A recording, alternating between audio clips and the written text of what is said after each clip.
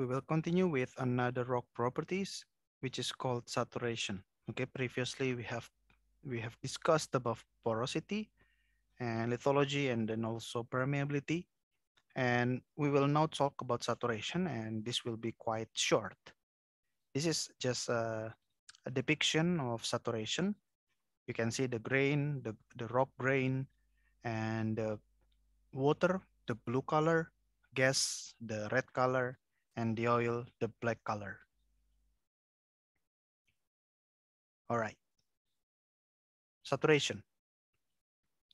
So again, saturation is the fraction of the pore space occupied by particular fluid. Okay, so it's quite simple actually. For example, here we have rock with 25% porosity. You can see the rock grains, the white color, the brown color, or the chocolate, the, yeah, the brown color, okay? And you can see the dark area, okay? The dark area are the pores, but the pores are not empty, okay? The pores are not empty, they are filled with fluid. Jadi pori-pori itu tidak kosong, dia terisi with fluid. And the fluid can be water, can be oil, or can be gas. Okay, so if you zoom in, in this area, you can see the, the rock grains, you can see the voids.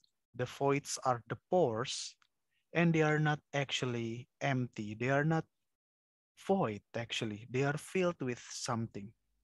And if we zoom in again, you can see oil or gas and water filling these pores, filling these voids. You see the rock grains? The, the black area shows the water and the green can be oil or can be gas. Okay, so if we make the fraction of them, saturation is the fraction of the pore space occupied by particular fluid. So that's the definition.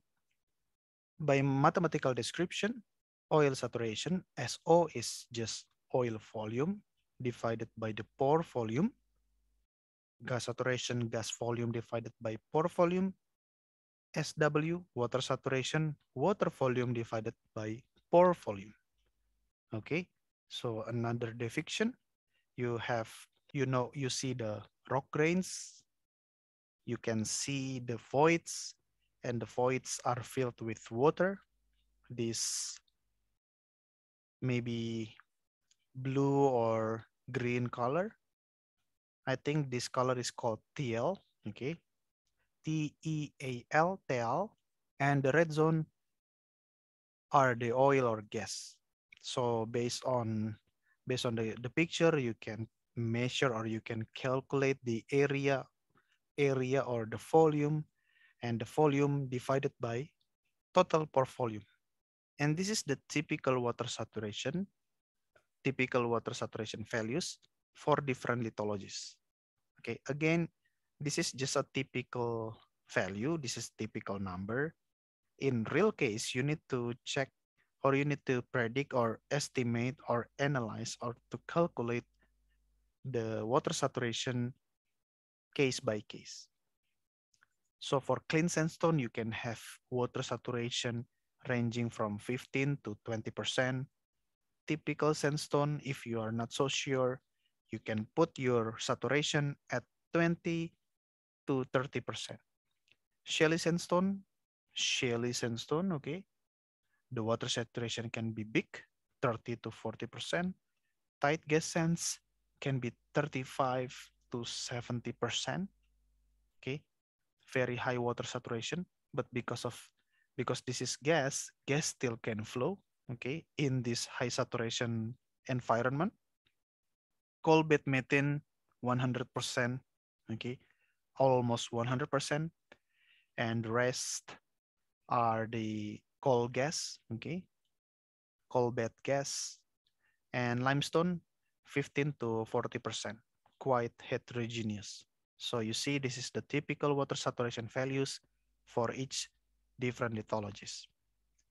And one other thing is because they are fractions, SO, SG, and SW. If you sum them up, then the total will be one. So if you have SO plus SG plus SW, you sum them, it will be one. Okay? Jika kita tambah saturasi oil, saturasi gas, saturasi air, it will be one. Satu or unity. Okay? So saturation is quite simple. And in the next section, we will talk about log analysis a little bit. Okay? Thank you.